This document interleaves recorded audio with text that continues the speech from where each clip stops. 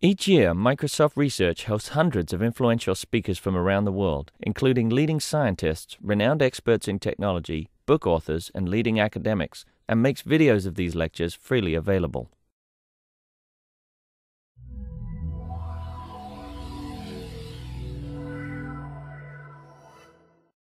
We'll start with uh, Clark Barrett, uh, whom uh, you probably know, but um, who um, got his PhD at, at, Stanford a number of years ago now and uh, is now at New York University.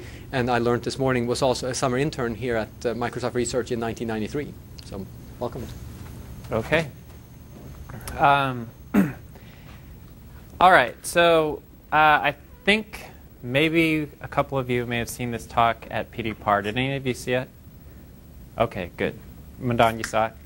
All right, you saw it. Um, so I have a little more time today, uh, so I'm going to go through parts of it a little more carefully. But, but certainly, if you have questions, let me know.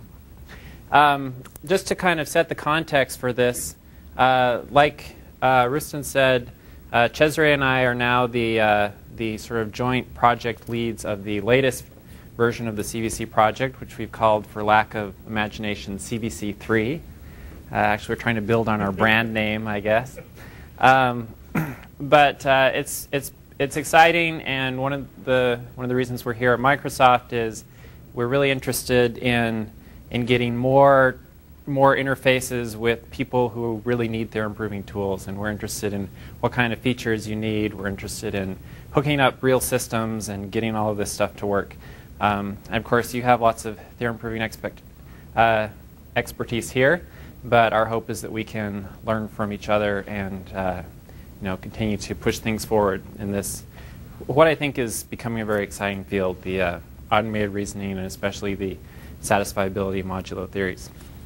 All right, so the talk today is about uh, a particular theory, the theory of recursive data types, also known as algebraic data types or term algebras. There's various uh, names that people have thrown around for this over the years.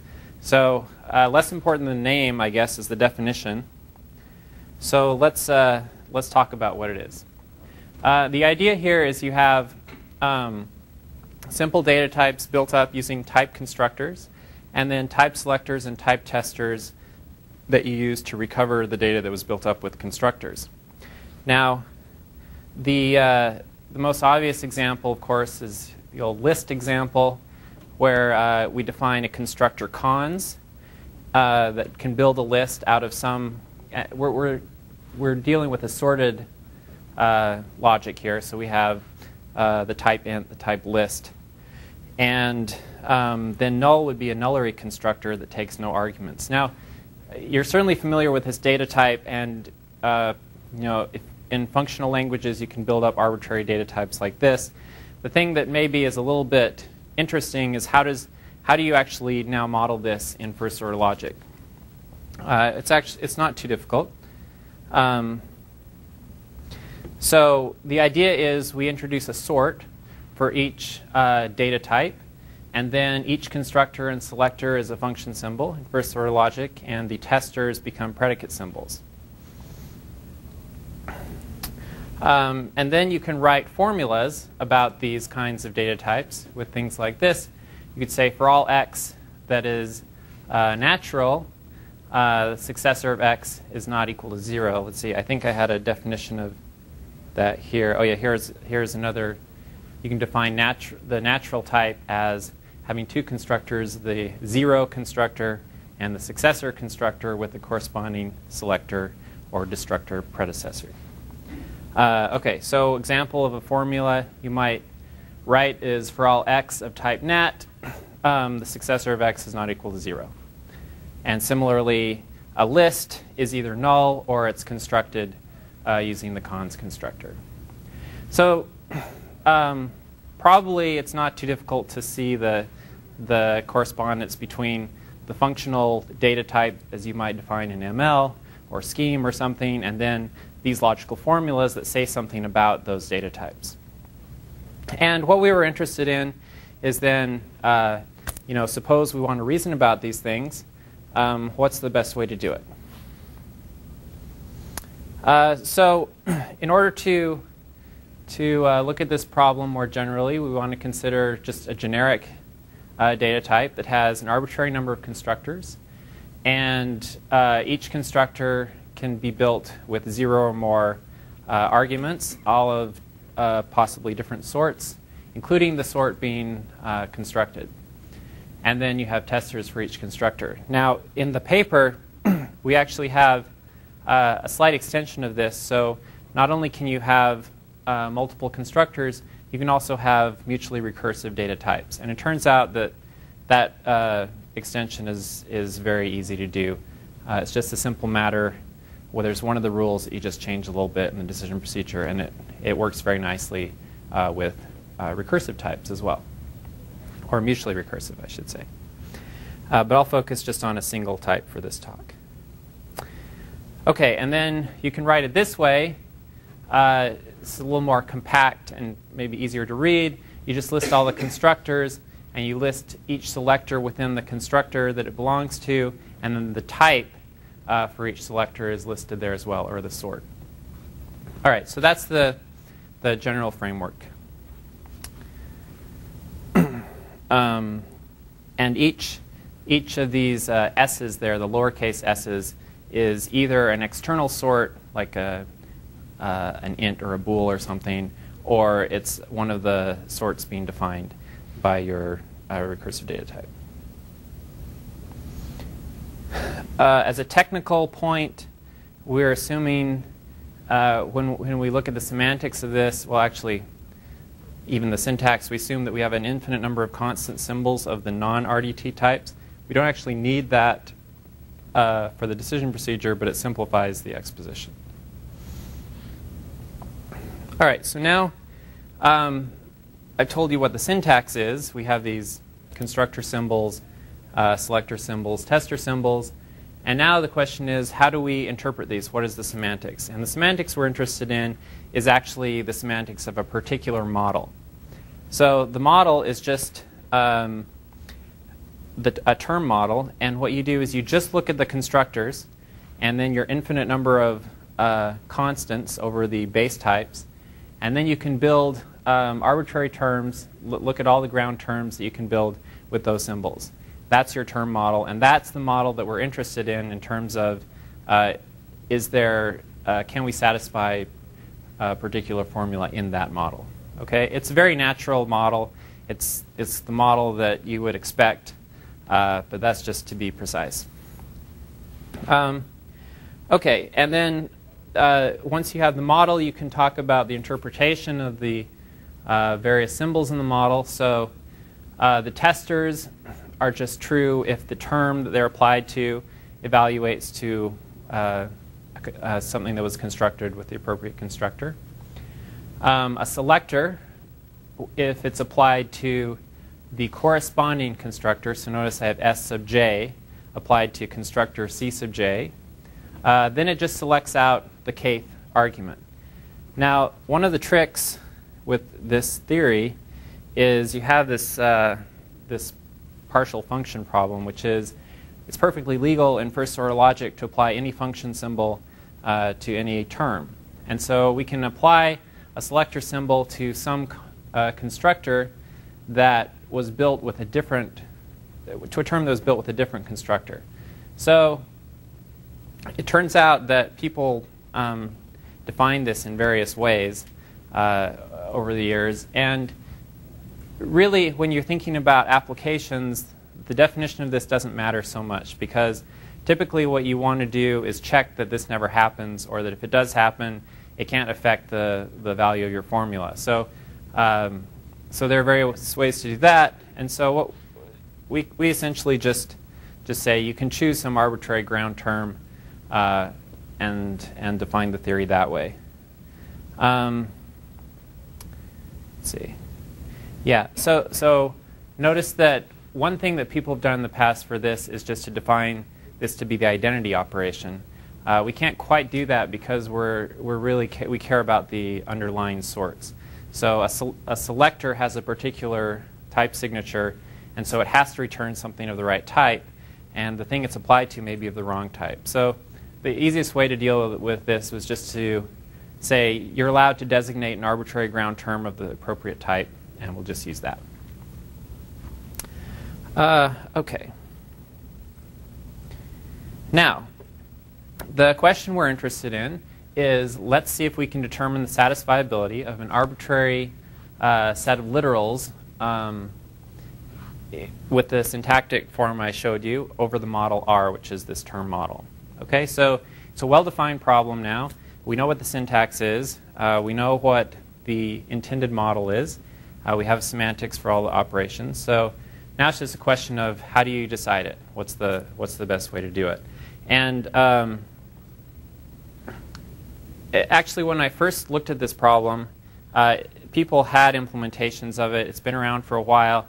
And I looked at the literature, and the thing that I found a little bit frustrating was nobody had really covered the problem in this level of generality and at the level of an implementation uh, that you could that you could actually uh, use. And so what I thought was just going to be an exercise in understanding what had been done turned into uh, some original research. So what, what is out there? Uh, there's this original work by Oppen uh, that is probably the most cited in terms, uh, if you look in the current literature, people say, well, this problem was solved by Oppen. Uh, the problem with that is, first of all, it's a very difficult procedural description of the algorithm. But more importantly, he only considers the case of a single constructor. So if you really are interested in this more general case with multiple uh, recursive types, with multiple constructors, uh, it doesn't, the generalization is not uh, straightforward. Um, and then there was this work uh, at Stanford, uh, one of Manna's students, um, who actually did all kinds of crazy stuff with term algebras combined with uh, length constructors and quantifier elimination. Some impressive work uh, but he considered the quantifier free part of it to be trivial, uh, so much so that they, they gave a, a, a very simple non-deterministic algorithm for it in about a paragraph. And it is true that this works, but unfortunately, it's not uh, at all an efficient algorithm. So if you're interested in doing this in practice, you have to ask yourself, what, how would you implement this? Uh, so um, uh, and then, okay, and then there's also some related work using superposition for this. Um, but they're, even, they're also quite far removed from the implementation level. So we're interested in actually implementing this in our theorem prover. And the questions we had is how do we do this in an efficient way? Okay, so before I show you the procedure, um, one important concept, if you are familiar with some of this work, uh, you'll, you may recognize this. Uh, but one important concept in understanding how the rules work is this idea of a term graph. So um, essentially what you can do is you want to look at a term, the syntactic form of a term, and think of the associated graph in terms of how things uh, line up in the underlying model, right? So notice here that uh, if I have a formula like this with cons xy equals z, and x equals car of w, and so on. Um, x and y are children of cons because this, the cons term is constructed from x and y. But over here, w is a parent of car and cdr of w because those are children of w in the underlying uh, representation. So it's kind of interesting because sometimes the function symbol goes down the graph and sometimes the function symbol goes up the graph. But if you understand the underlying representation, it's clear why. Uh, so this kind of a, a, graph is useful in understanding how, to, how the, the rules work. Uh, okay, so I'm going to show you the rules, and I'm going to show you uh, how the rules work by several examples. I think that's by far the easiest way to understand it. And there's, I, I have to say there's nothing particularly deep here. I don't think we just there's a couple of interesting ideas, but what was uh, important to me was by the time we were done, we had a nice algorithm. It was easy to prove correct, terminating, complete, and it was very straightforward to map this into an implementation. Uh, and one of the really nice features of this is we used, um, I've become a big believer in this abstract uh, presentation, rule-based presentation of decision procedures because it allows you um, if you give a procedural uh, repre representation, things are very sort of interlocked. But if you give this rule-based presentation, I think we have maybe 20 different rules. Each rule is very is pretty simple uh, once you understand it, um, and it's completely independent from the other rules. And it's only in the proofs that you have to look at the interactions between the rules and make sure that they terminate and are sound and complete and so on. Actually, termination and completion is where you have to look at the interaction of the rules. So the nice thing is when I was implementing this, I was able to just take a one rule at a time, uh, figure out how best to plug it into the system. I could test out you know, a, a subset of the rules, make sure they were working. And uh, I think this was really the greatest success of this work was kind of as a proof of concept of this way of presenting decision procedures. So I'm a big believer in giving a nice uh, abstract rule-based uh, decision procedure. All right, so the first set of rules, uh, if you're familiar with abstract congruence closure, we, we uh, stole several ideas from that. And the first set of rules are just uh, flattening rules, um, which allow you to essentially label each term in your term structure with some abstract variable, which represents an equivalence class. So the way this works is uh, here's, here's this little running example. Um, we have cons x, y equals z, x equals car of w, y equals cdr w, w is not equal to z, and w is, uh, is cons.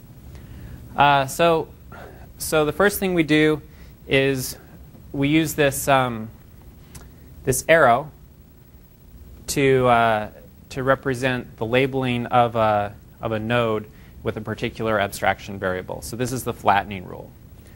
Uh, so we flatten by assigning everything its own abstraction variable. The v's are the abstraction variables. So x, y, and z get abstraction variables. Um, then cons of v2, v3, that's, that's what used to be cons of x, y, gets assigned an abstract variable, and so on. Uh, so we've got seven different abstract variables here corresponding to the terms in our formula. And then for each abstract formula or for each abstract variable, we have a labeling. And the labeling represents the possible constructors that term could have been constructed with. And this is how we're going to uh, take care of the problem of multiple constructors. Uh, we're going, basically, at first, uh, all bets are off. Anything could have been constructed with anything. And we're slowly going to try to figure out which constructors were used and maybe see if we can avoid making decisions about some of those things, and that's going to save us on efficiency. Yeah. You do this in the egraph, or you do this in, in addition to the egraph? Well, well, again, this is uh, an abstract representation of the of the algorithm. So in the abstract representation, these are additional annotations. So this labeling is explicit syntax syntax in our abstract description. Uh, but of course, if you were implementing it uh, you may you may just annotate the egraph itself or the term structure just in, in, much the same way as we in the implementation we don't actually add these abstraction variables. Uh, those are just the equivalence classes. Okay, good good question. Uh, okay, so to begin with, everything could uh, this is in the theory of lists here, um, and everything could have been constructed with either cons or null except a v4. And the reason is that in our abstraction rule, if you abstract a cons, you, you immediately label it with just the constructor because there's, there's no need to consider other possibilities. All right, and everything else is just, uh, is just factoring out that abstraction. And so our, uh, our term graph here at the bottom just looks like this. So V4 and V5 are the, are the cons nodes and, and so on. All right, and these are, uh, I don't even have the rules there, but but essentially they just introduce those variables and don't do anything else except if you abstract a cons, which introduces that labeling. Yeah. So you're not going to infer that v5 is a cons node at this point? Because no. you do a car. No, because in fact, uh, that's not even a uh, like like I said before in the in the theory that I presented, it's okay to apply a car to a non-cons node.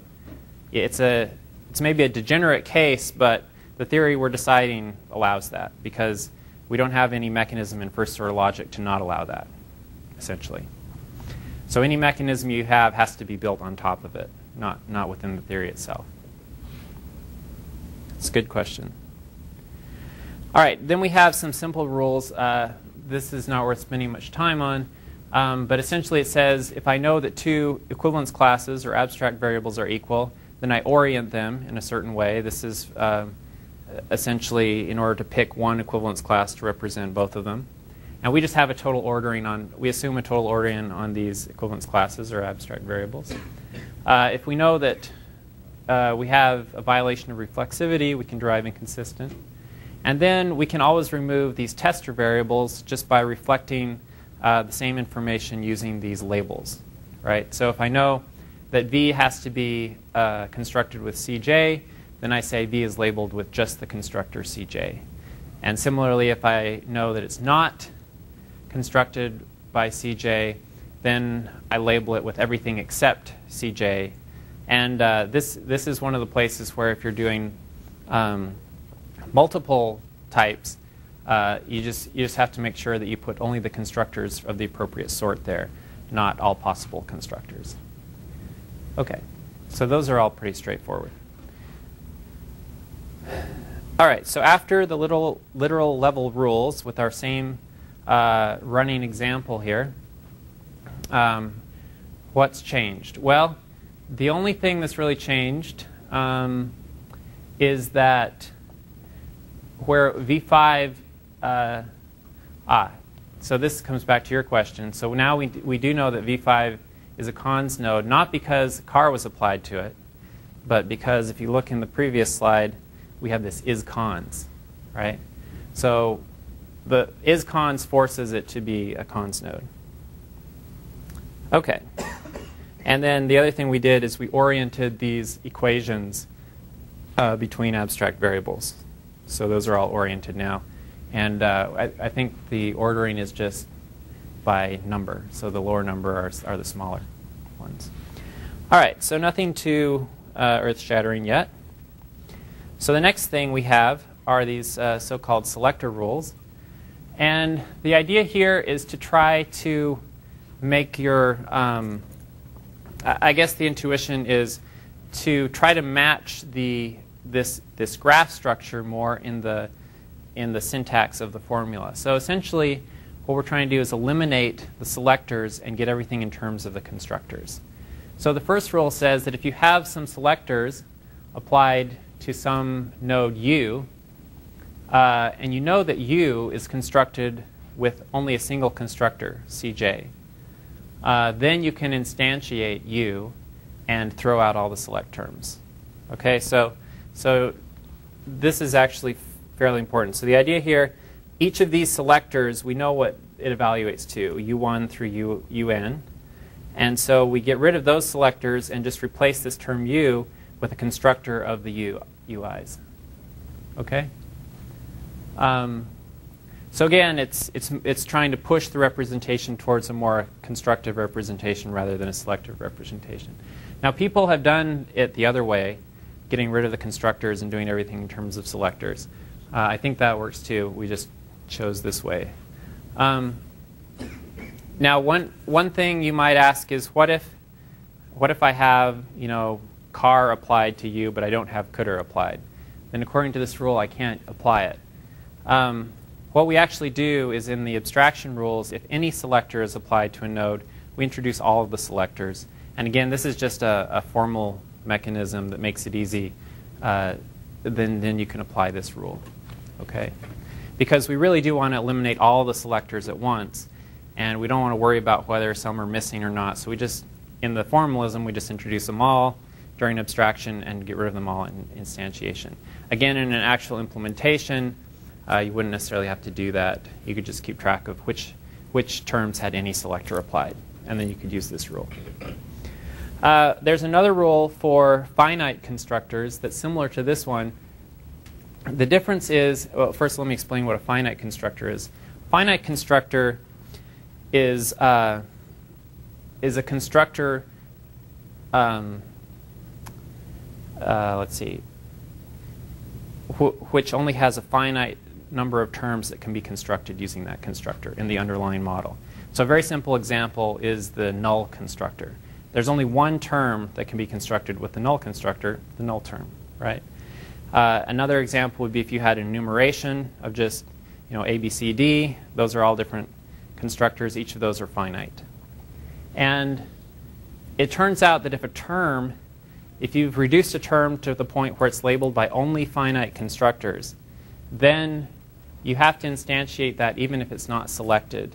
And the reason this is a completeness problem where um, you really, basically, we don't know anything better to do for these terms that could be constructed with finite constructors than to guess which of those constructors it is and just keep splitting until we know exactly which one it is. So, so the, the important distinction here is this instantiate one rule is a little bit smart because you only have to instantiate a term if it's been selected from. If a term has not been selected from, we never instantiate it. And in fact, we also never have to commit ourselves to which constructor it was constructed by. So that's a, a savings. But for finite, for terms labeled with finite constructors, we don't have that luxury. We have to instantiate all of them. Okay, the collapse rules are pretty straightforward. This just says that if I have a selector applied to a, a term that's a constructor, I just get the appropriate uh, uh, subterm selected out. That's what collapse 1 says. And collapse 2 just is our, our special rule of if I apply a selector to the wrong constructor, then uh, I just get this designated term. Here, here it's called T. Whatever I decided to give my, my theory a complete semantics. So for example, uh, I might use, I might just always use null there if I do a select of, of a constructor or a, a car. If I do a, sorry, a cdr in the list constructor applied to null, I might define that to be null, for example. Yeah. Or are you also suggesting that you actually remove that uh, selector, like in Flash? Yes. Right. So the, I mean, otherwise, it could be that if that were used in many places, maybe that it'd be more efficient to keep it around, but but you actually get rid of it. Right, we get rid of it. And the hope, the hope is that you, well, one of the ideas is to try to define the designated term in such a way that it will induce a series of collapses and, and lead very quickly to that case being ruled out. Yeah, it's a good question.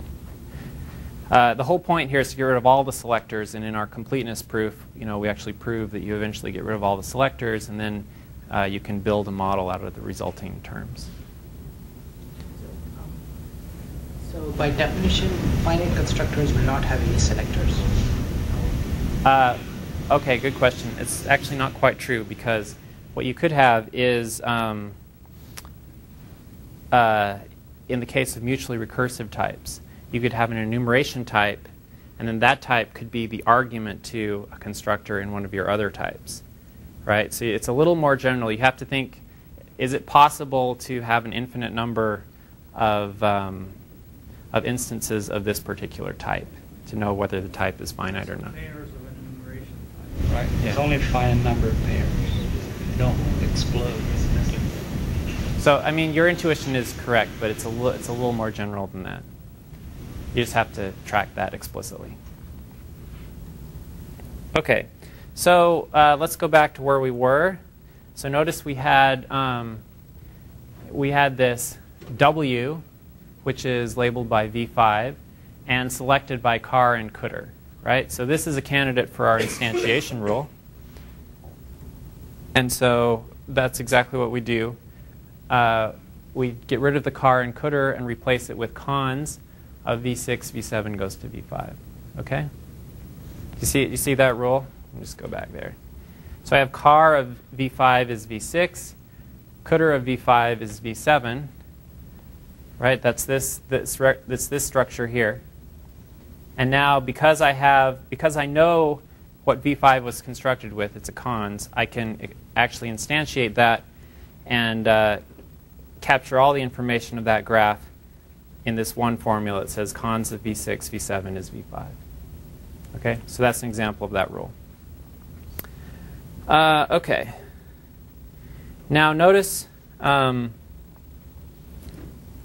notice what the equivalence classes are that I have here.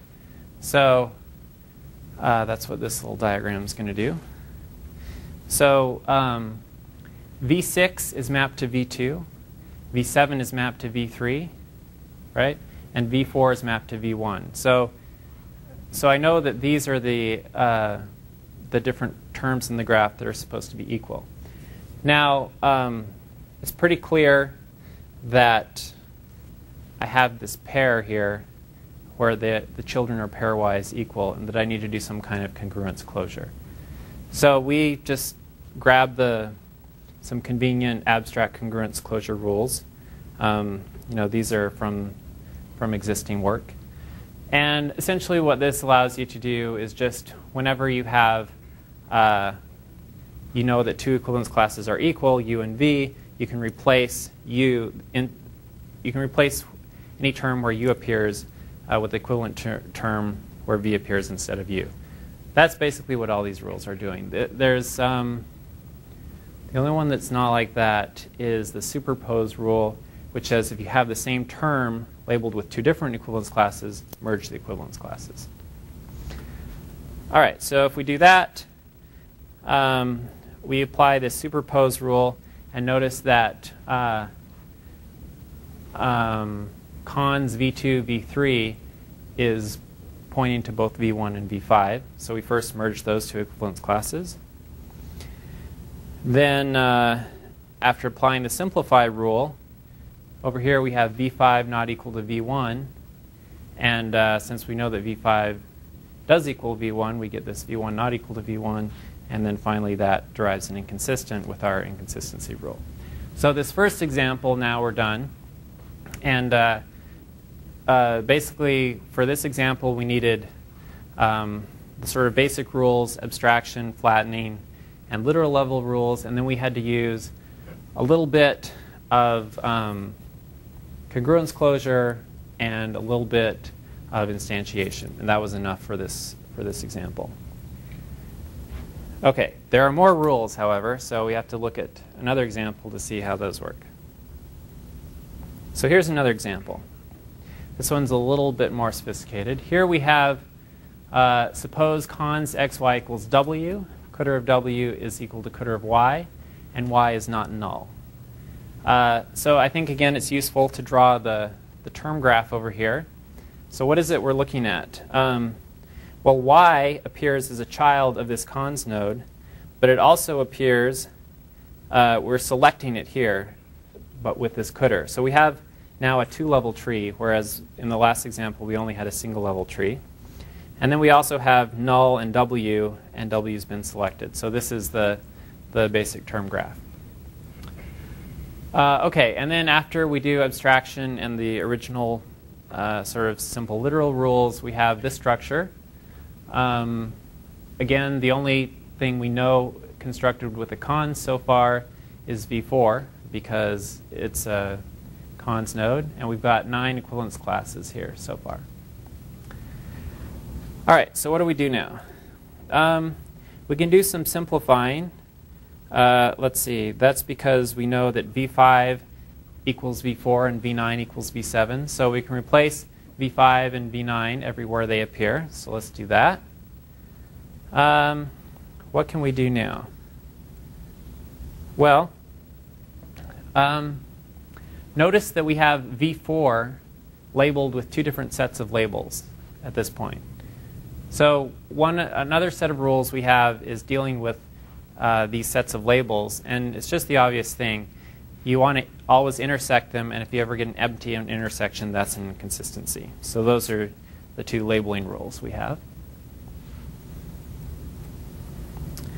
Uh, okay, and then let's see. If you go back here, notice we can again do some instantiation. So we have um, cons v2, v3, or, or sorry, we have w is V4, and W is being selected um, with car and cdr, and also V3 is being selected with car and cdr. So we can instantiate both uh, V3 and V4. Um, right, which are which is this one and this one. These can both be instantiated. Uh, let's see, is that right? Well, we can instantiate V4 because we know it's a cons node. We can't instantiate v3 yet because we, we, have, we don't know what that is, right? So we instantiate v4. Okay. Um, now, uh, what have we got here? It looks like, yeah. Uh, that's true. So we can merge those. Let's see if I got that. Um, Actually, let's see. Can we do? No. Um, yeah, that's right. That's exactly what this, what the little blue thing shows. So notice that cons x, y, and w are known to be equivalent there. And also cdr of w and cdr of y are known to be equivalent. But with the rules I've shown you so far, uh, I don't think there's anything else we can do at this point. So what else do we need to do? Well, when, when I have, I showed you the, the congruence closure type rules, which are essentially upwards closure rules going up the graph. And now we need to do the similar thing going down the graph. So if I know that these two are equal, I know that their children are also pairwise equal, just uh, basic unification. So um, the decompose rule is the most basic version of that. It just says if I have uh, constructors, the same constructor, but with different arguments, and they're known to be equal, then I know the children are equal. Um, a, a, sort of trivial case is if I have two constants that are equal, I know that's, uh, that's inconsistent. And then finally, the cycle rule tells me that if I can find a cycle in my graph, modulo uh, equivalence classes, that's, um, that's also inconsistent because my underlying model doesn't have cycles, right? Does that make sense? Okay, this is, this is a, a little bit hard to parse here, this cycle rule, but you'll see the example of it is very simple. It, for example, if I have um, car of u equals u, that's a cycle. Or I guess of u equals u is, is a well-typed cycle, where I know that u has to have the cons type. Yeah. Yeah. It's set up with the recurse. Like I said, there's not, nothing particularly um, revolutionary in these rules. It's just coming up with them in a nice way that uh, allows you to understand them individually. Okay, so after we do decompose, uh, we now know that the children are pairwise uh, equal here. And uh, we can do a couple more uh, orients and simplifies to get, uh, to get things back in shape. Uh, so what do we know now? Well, at this point, um, we have a situation where, where V3 is being selected from, but we don't know the constructor that was used to construct V3, right? And so in order to, in order to, to get to the bottom of things, we have to make a decision about that constructor. And this is where we finally have to do some splitting. So our split rule looks like this. It says if I have a term that is selected, okay, so we don't ever need to split well, unless the constructors are finite, we don't ever need to split on a term that's not selected. But if the term is selected and it's selected with uh, more than one constructor, including the right constructor for the selector, then we do the following split. We, we split on the case where it's constructed with the right constructor, and the other case is if it's constructed with anything but the right constructor. Now, the nice thing about this is even if you have a large number of constructors, both of the each of these um, case splits should you shouldn't have to do any more splits on this constructor because the one on the left you can immediately instantiate, and the one on the right um, you can immediately collapse because now the selector is applied to a constructor of the wrong type and it just collapses to whatever the ground term is. So I think this was one of our key insights is that um, in the sort of naive approach, you do this guess of what are all the constructors labeling all the terms. And that's, that seems to be pretty badly exponential. But if you look at this rule, you always only have to split into two cases. So that's nice. And you don't even always have to do it. You only have to do it if the term is selected. So I think those were two of our key insights we got by analyzing this procedure carefully. Okay, so if we do that, uh, let's take the first case split it says, suppose V3 is a cons node. Okay, so now we can instantiate, uh, and we get this instantiation for V3 in terms of the cons of V8 and V3. And then, uh, then we immediately have inconsistency by the cycle rule because V3 appears on the left and on the right there. Okay, so that case doesn't work, so we can backtrack and try the other case, which is suppose V3 is constructed with null. Um, now what happens? Well, we can again instantiate uh, because we know it's constructed by null, and so we have that null maps to V3. But then we can superpose that and get V3 maps to V1 and get an inconsistency there. Okay? Uh, so that's just a simple example of showing you how the case splits work. And in fact, now you've seen all the rules. And that's it. Um, so, so I think our, our contribution here was really to take something that was some, somewhat well understood, this idea of how you, how you reason about algebraic data types, and really decompose it into simple pieces, each of which can be understood easily. And then we showed that um, these rules are sound, complete, and terminating. And in fact, the termination does not depend on the order in which you apply the rules. So now you can think about strategies, like which strategy would you like to use to apply these rules? And of course, uh, one obvious thing you might want to do is to delay the more expensive rules. Um, the obvious expensive rules are the splitting rules. Uh, the cycle rule is also a little bit more expensive than some of the other rules, depending on how big the cycles can get. Uh, and uh, that's essentially what we did in our implementation. So, so I'm not going to talk too much about the correctness proof. We had, you know, we built some really nasty ordering and showed that it always decreased on every rule. That was kind of a pain. Uh, but everything else was pretty easy. Soundness, you just prove locally for each rule. And completeness, we were able to show that once you get rid of all the selectors, you essentially have the makings of a model.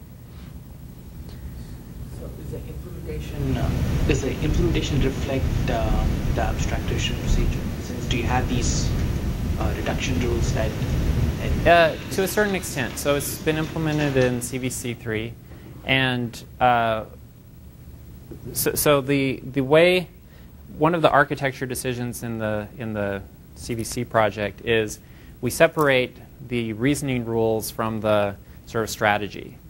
And th this was a decision that we made a long time ago, and it works out really well here. So what we what we have is for many of these rules, they correspond directly to proof rules, in our, in our sort of theorem building section of the code that's trusted.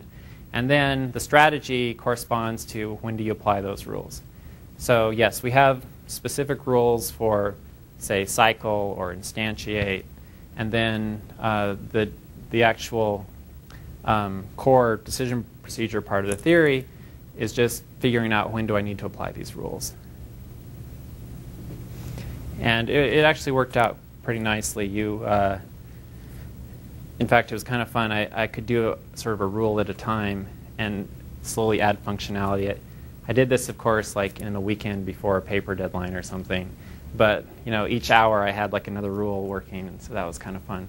Um, it really, it was really nice to have that kind of a description of the algorithm. It's very easy to go from that to the implementation.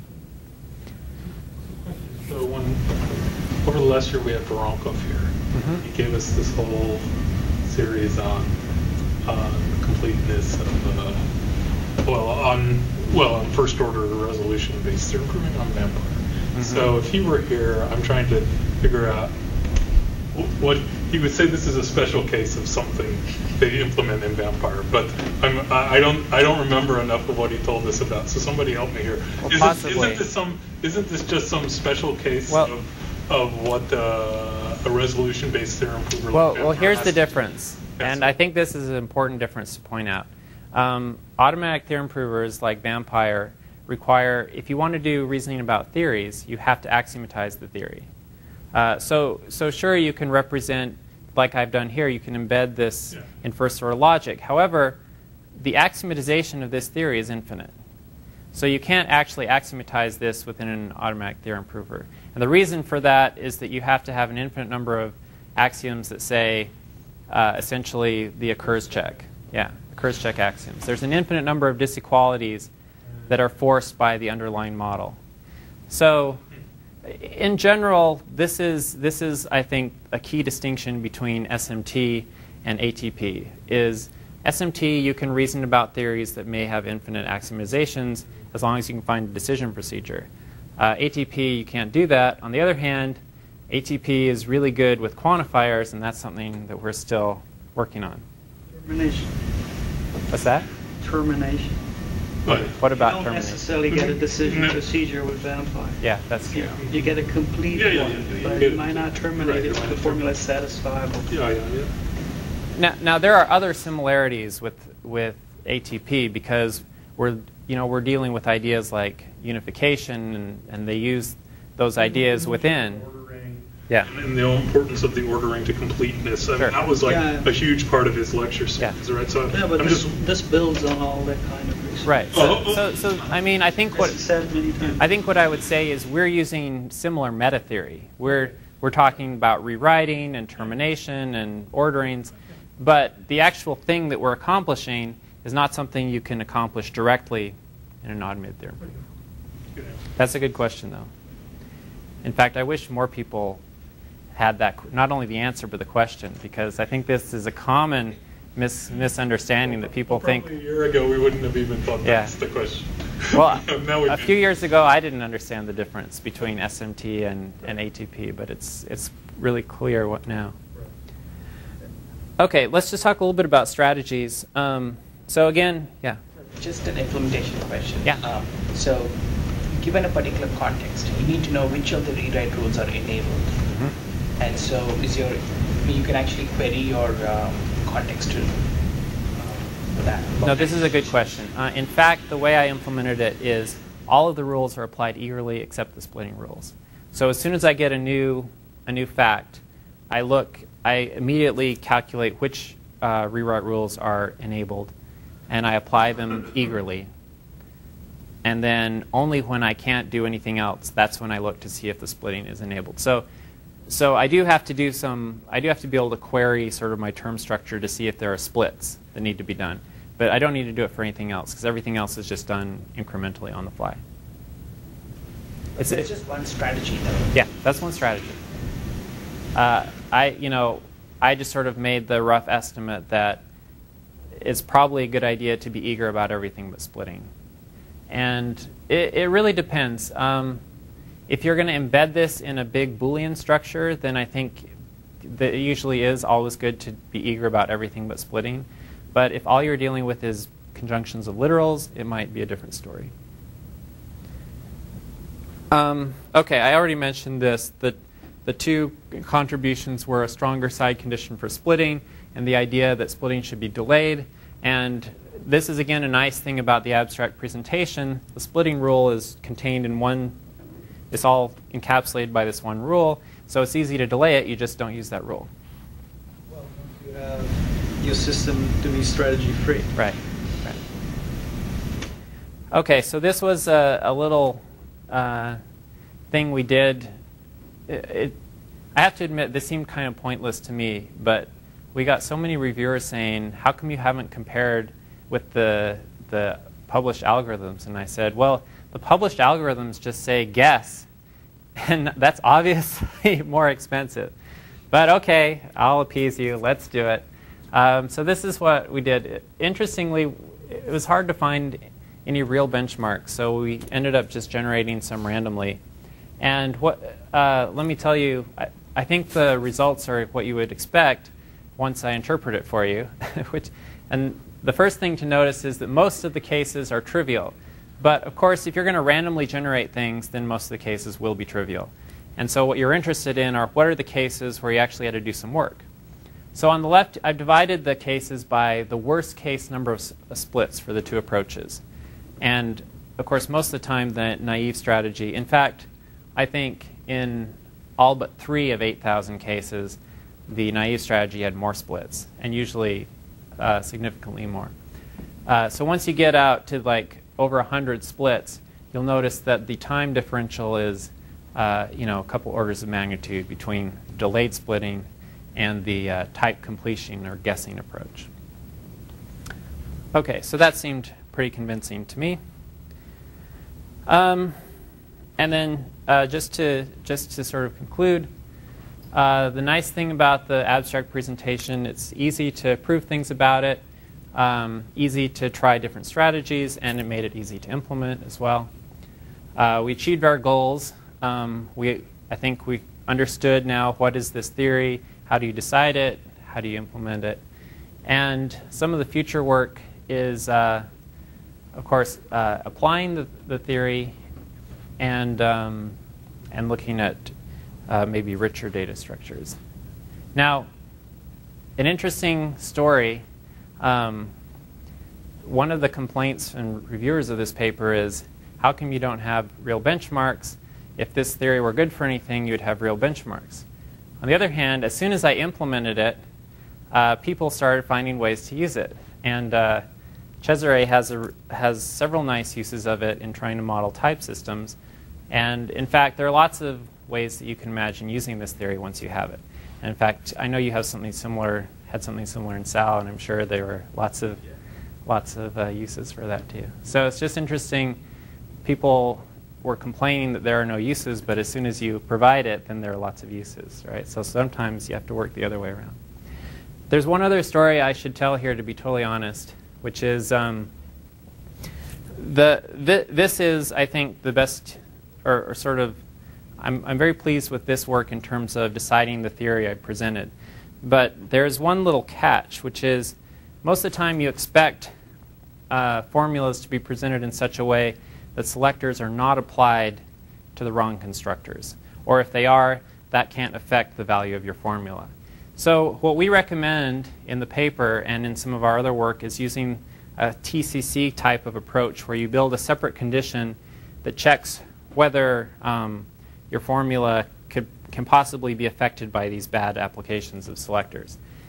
Now, we didn't yet integrate this idea into the procedure, but I believe it's the case that if you're going to go through all that trouble anyway of checking whether a selector can be applied, then when you apply this decision procedure, you may be able to get away with not splitting at all. Uh, and in fact, I think what you can do is just assume that the selector is always applied to the correct constructor. Um, we haven't worked out the details of that, so that's also some future work. But, but it looks like that probably will work. So that's, that's sort of for full disclosure. I think if you're gonna if you're gonna approach it that way, uh, you may be able to get away with not splitting it all. But if you have a finite constructor, this is not true, right? That's right. Finite constructors, you, you always have to split. There's no way there. There's no way out. What if you have um, if you have different um, such algebras and, and different sets of constructors? Uh, then when you the whole system might have um, well, tons of them, uh, tons of different constructors. Does that mean that you need to keep track of for each term all of those constructors from, from all of the algebras? No, you just have to when uh, uh, presumably if your formula is well typed, then you just have to look at the constructors for that type. Uh-huh. Yeah.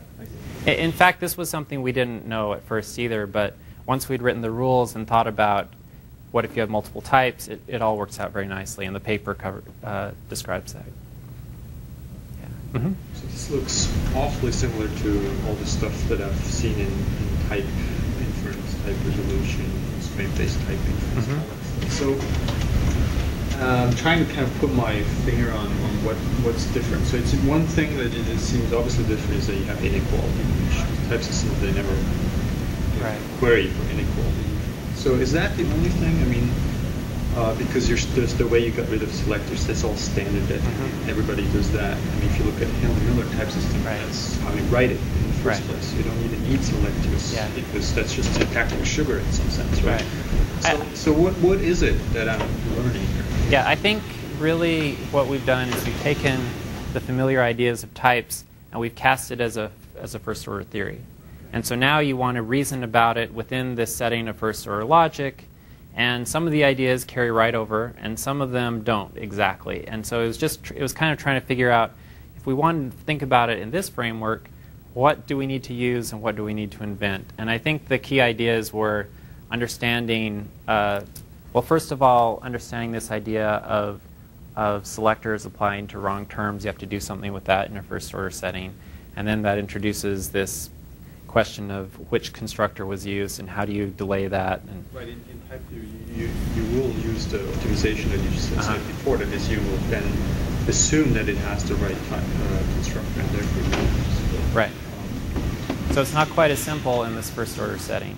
Uh, and I mean, if, if you're given this theory, this is how you decide it. If, if what you really care about is whether it's possible for something to be applied to the wrong constructor, then you have to use this other, well, there may be other ways to do it, but the way we do it is we first go through and sort of annotate the formula and figure out under what conditions could a selector be applied to the wrong constructor. That's exactly what type systems do. Is that that's their whole purpose is determine whether you ever apply to the wrong thing, right? Uh-huh. And they and they do that very efficiently. If it's only the qualities that you care about, you just use unification, and there is no splitting involved ever. So uh, that's where I'm kind of not clear. I don't understand what the what the difficulty is. Is it all by introduced by these inequalities? Um, let's see. I, I think it's it could be that things are a little more decoupled than they are in type systems because you could have a very large formula and you could have over here something about that x is constructed with null and something over here about you know a selector applied to x and there's some non-trivial boolean structure of your formula that creates a dependency between those and guarantees that you're not going to have a badly typed thing. So I'm not an expert on type systems, but typically I think you can do most things with local reasoning and building constraints. And uh, because we're, we're in arbitrary first order structure, we have arbitrary Boolean uh, superstructure, and it's just a little bit more complicated to, to have those constraints. Right? So you, you, you're building everything out of Yeah. So another thing, as you said, one of the implications that you have is that you, you use it to encode type type systems and stuff like that. I think when you get there, actually, I think your um, your model is not the right one. Well, there's two things that I think you're wrong with it. So you don't have infinite trees, okay? Whereas, in fact, if you do represent your um, use these terms as types, you do definitely want infinite trees, okay? Um, the second thing, because Their now trees are unbounded, but why aren't they good enough? no, because because the, the the the terms you're representing in your model are not the elements of the types, but the types themselves, and those need to be uh, recursive. You're talking about recursive types?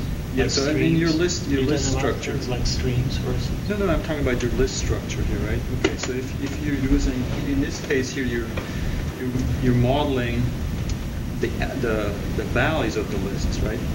But you can similarly take the, the terms that you have and use them to model the types Oh. themselves, right? And those need to be recursive, right? So if you look at type systems based on set theory, for example, they, they look exactly the same, except instead of equality, you have inequalities, okay? And you, you definitely need recursive types there, and so you need the infinite fact. Uh, another thing um, um, about application in the type domain is, of course, um, well, you want function types, okay? And model is totally inadequate for that. So have you, I mean, are you guys really thinking of going in that direction? Because then I think I see a lot of roadblocks. Um, this is really what you're trying to do. function types. I I haven't thought a lot about the extension to sort of higher order uh, stuff. One, I, I think one thing that that I do know about that people have used is there you can encode um, some higher order stuff by using the sort of meta applies operator, and I know that like the guys at Intel have successfully used an approach like that for using first order logic to reason about some high order stuff. So there may be something there. And There, there's another problem that uh, the, your recursive type will, your, your type can become uh, contravariant. Could, uh, so, so you don't necessarily get inductive on a basis. do you have any uh, thoughts on that, Cesare? Um, Yeah, if we can talk offline, if we can steal some of your time. A different question. Uh-huh. The, when you remove selectors and Yeah. like the, um, how does that interact with um, with quantifiers? I mean, you might want to use such a selector in a in a trigger. Do you, do you do triggering first, or do you keep things around to so that you can do the triggers, or do you just recommend against using such things in triggers? Okay, this that's a really good question. Um, we aren't there yet, uh, but that's a fair question because that's exactly what we would do is we'd trigger on the selector. I think. Um, let me think if if we've solved this problem already or not. I think we may have because uh, when we remove the selector, we don't actually eliminate it from the eGraph. Uh, in fact, you have to keep it around because you may backtrack or something anyway. And so I think the idea is as soon as the selector is introduced, it gets put into our, our set of possible matches for triggers. And then if you actually do trigger and match that, you'll just look up, well, what is the current um, representative for that selector?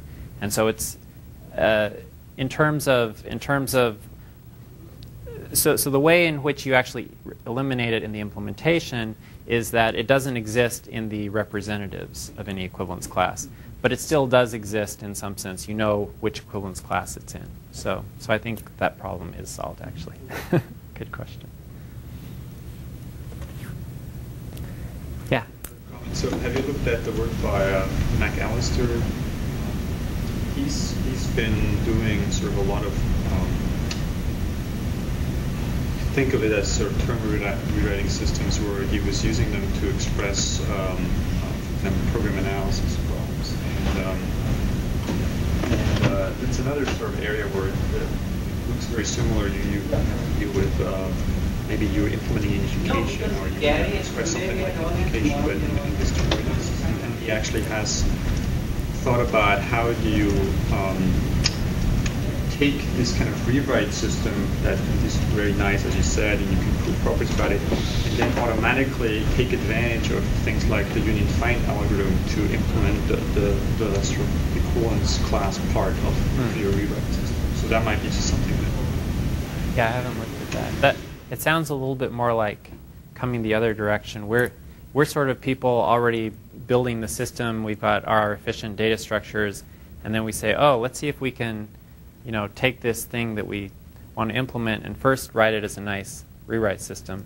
It sounds like he's more like saying, well, let's take this nice rewrite system and now let's see how to implement Yeah, I mean, originally, I think he came the same way you said it, but then he sort of really said, ah, this is great. We can just express all our analysis using these nice rewrite systems, and how do we make it efficient again? Yeah, of course, the more that can be automated, the better. I mean, uh, w- admittedly, once I understood the the calculus, it wasn't too hard to implement. But it was that was for me, and like I wrote the system. So if someone else wanted to do it, it would have been more challenging. So automating that would be great. So, so do you actually take advantage of the union find algorithm, or do you actually have your rewrite rules that order these? Uh, no, we uh, we have our own sort of You have a yeah, we have a congruence closure algorithm um, kind of built in, and we just use that.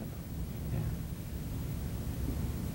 When you compare the splitting of the delay splitting, did you, I mean, you're, you're considering non-chronological backtracking and, and lemma learning? It was it was just uh, conjunctions of literals, so we were ignoring the Boolean part. But do you think it would help, I mean, the eager splitting, and, I mean, if you, if you have non-chronological backtracking and lemma learning, handle I think I think that the delayed splitting would dominate strongly dominate the lazy splitting because essentially what we're doing is um, we're we're still doing all the splits you have to, but we're not doing any of the splits that you don't have to.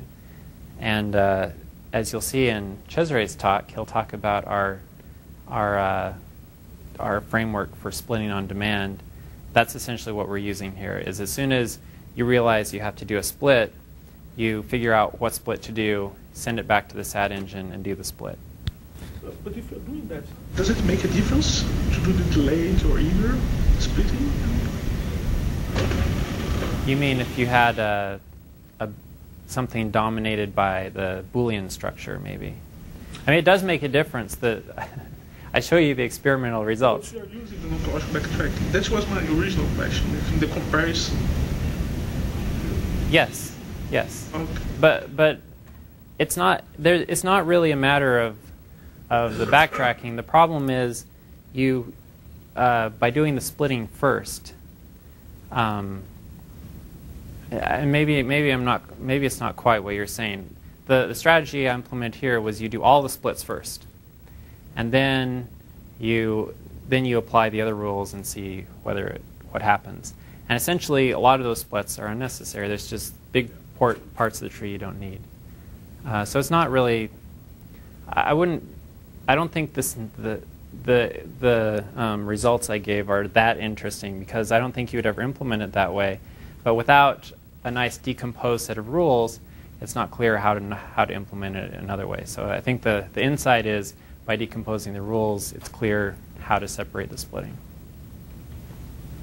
If you just have this black box that Oppen gives you that doesn't say anything about constructors, it's not clear how to separate out that black box from the from the constructor selection. Well, thanks very much. All right, thanks.